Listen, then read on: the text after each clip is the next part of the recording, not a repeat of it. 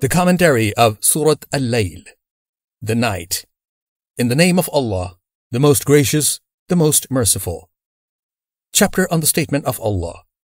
By the day as it appears in brightness. Quran chapter 92 verse 2 Narrated Alqama. I went to Sham with a group of companions of Abdullah bin Mas'ud. Abu ad-Darda heard of our arrival, so he came to us and said, Is there anybody among you who can recite the Quran? We replied in the affirmative. Then he asked, Who is the best reciter? They pointed at me. Then he told me to recite. So I recited the verse. By the night as it envelopes, by the day as it appears in brightness, by him who created male and female. Quran chapter 92, verse 1 to 3. Abu ad-Darda then said to me, Did you hear it like this from the mouth of your friend, Abdullah bin Mas'ud? I said, Yes.